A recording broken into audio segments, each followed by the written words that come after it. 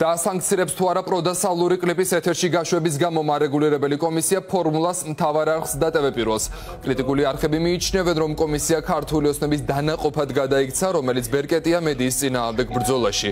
მესამე სექტორის წარმომადგენლების თქმით, კახა ბექაურს საკუთარი მოვალეობა კარგად არ ესმის, რადგან კომისიის უპირველესი ვალდებულება არა მხოლოდ ზედამხედველობა გაუწიოს მაუწყებლის საქმიანობას, არამედ იპოვოს სწორი ბალანსი გამოხატვის თავისუფლებასა და კანონის მოთხოვნების დაცვა შორის.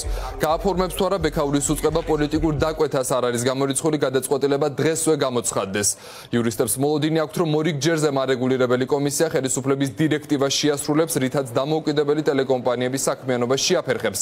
არდა ჩვენს ქვეყანას პირდაპირ უთხრეს რომ საქართველოს კანდიდატის სტატუსს მიიღებს, თუ კი შექმნის თავისუფალ და დამოუკიდებელ მედია გარემოს, ასევე დროულად გამოიძიებს ჟურნალისტებზე ძალადობის საქმეებს. ნინო ვარძელაშვილი მუშაობს თემაზე, ნინო ეთერში ხარ.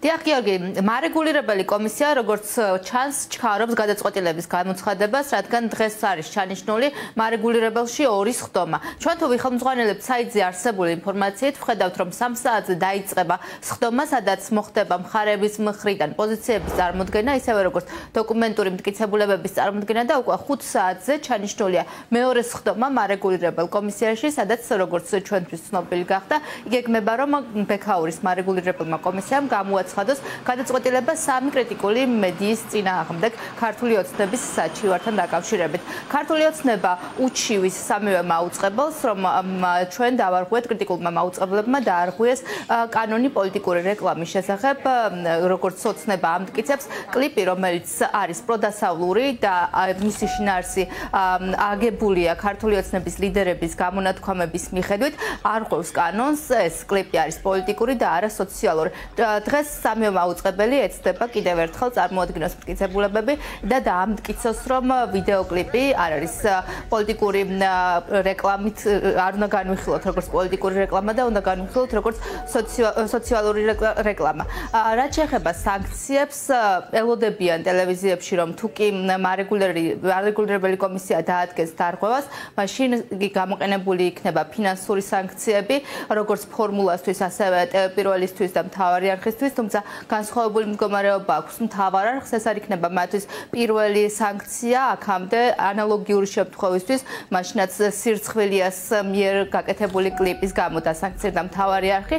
112000 ლარი და უკვე ამ შემთხვევაში მთავარ არხში ჭობენ რომ ეს ვიდეო კლიპი შესაძლებელია გამოიყენონ არა მხოლოდ ფინანსური სანქციისთვის არამედ იმისთვის რომ დაიწყონ მსჯელობა მთავარი არხისთვის ლიცენზირების საკითხთან დაკავშირებითაც მარეგულირებელი კომისიისგან ჩვენ როგორც ყოველთვის ველოდებით პრობლემების შექმნას, კრიტიკული არხების შევიწროებას, სამწუხაროდ ეს სტრუქტურა არის გადაქცეული კრიტიკული მედიებისთვის პრობლემების შექმნის ერთგვარ დეპარტამენტად. აა და ეხლა რაც უნდა ამტკიცოს მარეგულირებელმა რომ ისინი თავისუფალი არიან პოლიტიკური გავლენებისგან, ჩვენ ვიცით რომ ეს ესე არ არის. აა ნუ მაგრამ მაინც გვაქვს ცხადია რაღაცა იმედი იმისა რომ იმდენად არარსებული და ასე ვთქვათ უარგუმენტუარი მთლიანად ეს შემთხვევა, მაინც გვაქვს იმედი იმისა, რომ არანაირი სანქცირება მედიების არ მოხდება. სამ ტელევიზიაზე ახალი იერიშის მიზანი არის მაქსიმალურად დიდი ფინანსური პრობლემების შეექმნას ჯარიმიდან გამომდინარე, რომელსაც სავარაუდოდ მარეგულირებელი გამოიყენებს მედიას, რომ ოპერირების პრობლემა ჰქონდეს. ჩვენ უკვე მუშაობები ვართ ამ რეჟიმში მუშაობას, დავალოდებით ხევანდელ გადაწყვეტილებას და მე რა თქმა უნდა, ყველა სამართლებრივ გამოვიყენებ ვიღებთ ჩვენი კანონიერი უფლებების დასაცავად, იმიტომ რომ ტელევიზიის მიერ მოხდა სოციალური რეკლამის განთავსება ეთერში. ეს არ ყოფილა ტელევიზიის მიერ წარმოებული პროდუქცია და იმ რეკლამაში გამოყენებული იყო განცხადებები, რომლებსაც აკეთებდნენ ხელისუფლების მაღალჩინოსნები. ამ ლოგიკით შეიძლება ნებისმიერი ტელეპროდუქტი, რომელიც ეთერში განთავსდება, გახდეს დავისან სანქციების საგანი მარეგულირების მხრიდან. ეს არის ცხელი ზაფხული მედიის წინააღმდეგ იმისთვის რომ ახალი სატელევიზიო სეზონის დაწყების წინ მაქსიმალურად ბევრი პრობლემა გქონდეს ჩვენ. ეს არის ბიძინა ივანიშვილის პოლიტიკური კლანის ბრძოლის გაგრძელება. არა მხოლოდ თავისუფალი მედიის წინააღმდეგ, ქართული ოცნება ცდილობს დააშინოს ისინიც, ვინც ამ ქვეყანაში პროევროპულ კურსს უჭერენ. მხარს განვითარების, იმიტომ რომ უყურეთ, საჩივარი შესულია კლიპისთვის შინ ევროპისკენ და შესულია კრიტიკული მედიის წინააღმდეგ.